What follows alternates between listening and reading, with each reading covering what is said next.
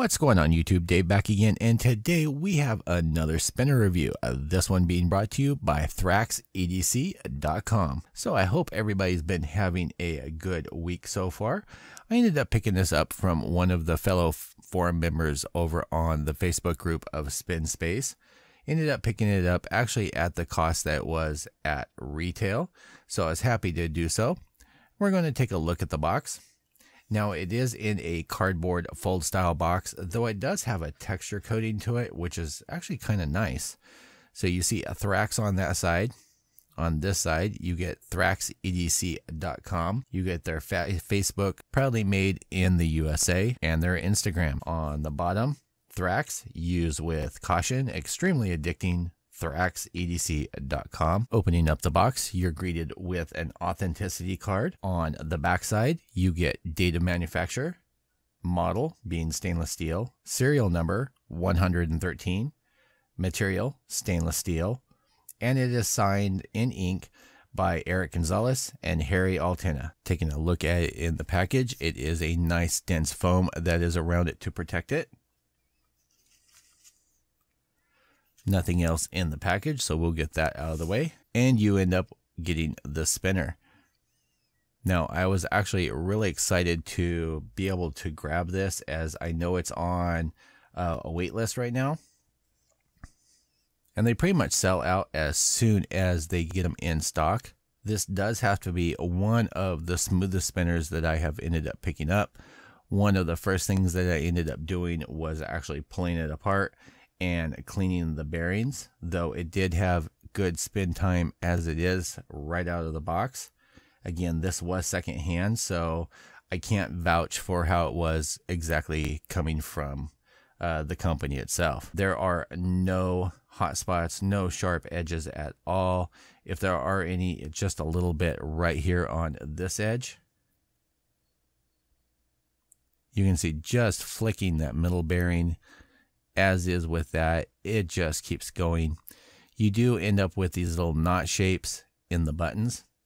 The buttons are magnetic and they are quite strong. You will see that they have these slots that go all the way through. And if you guys remember, a couple videos back, I did an unboxing and review on the glow powder. And the reason that I got that, the main reason, was this spinner right here. I'm going to do a tutorial and show you guys how to actually fill this um, with the uh, combination of epoxy and the glow powder. So you get a nice glow spinner in the dark. I cannot take credit for that though. There is a forum member and I cannot remember his name nor could I find his post because it's buried so far down. Um, but he was doing it to his spinetic spinners and I believe he did it to his Thraxx as well. And it just looks so cool. I couldn't say no. The great thing about doing that is you can soak. Uh, if you're not happy with it, you could soak it in either some acetone or something like purple power, and just let it sit, and you'll eat the um, the resin or the epoxy out of there, and have it back to normal. Pulling apart, the magnets are strong. I suggest just slipping your fingernails under, kind of using that as leverage and pulling the magnets out. But as you can see, now my only concern when it comes to the spinners like this is with magnets versus where they screw together is just this of where it does that because sometimes when it's in there, if there's enough play in here, you can actually rock the buttons. I've noticed that on some of the plastic spinners that use magnets. Um, you can do that and it actually slows it down. It kind of binds it up. Now, the information that comes from the site, um, spin time depends on your finger spin. 62 millimeters wide from side to side. The grips attach from magnets, as you could see. The body is made from 303 stainless steel bead blasted finish, and the bearing is a R188 hybrid ceramic bearing. Now, one of the things that I'll do that most of the other reviewers don't end up getting that close is give you that super nice close view. Let you guys see what you're getting before you purchase. On this, you can see it stamped Thraxx stainless steel number 113. And I am still kind of breaking in this bearing after cleaning it because I keep getting longer and longer spin times with it. Feeding back in the button. Now, one of the things that you do have to watch is when you're trying to put it in, the buttons do try to stick to the bearings. Even for being a two arm bow tie style spinner, you do get nice balance on it. And if you're one of those that likes to do the warp videos, um, you can get some great shots out of this. As you can see, just on a two two hand spin, you get some nice speed out of it. You get some nice effect, and I think this will look sick with that glow effect that's in there. Now, in my opinion, is this worth the money of running about uh, 120 125 I believe.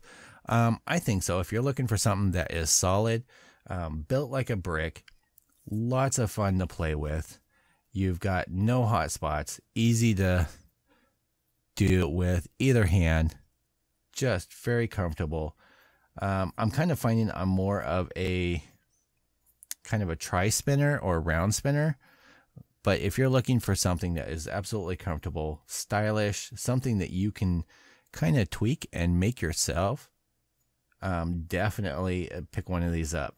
Um, I've seen some of these modified where they've had heat treatment, some anodized, some that the buttons are um, heat treated.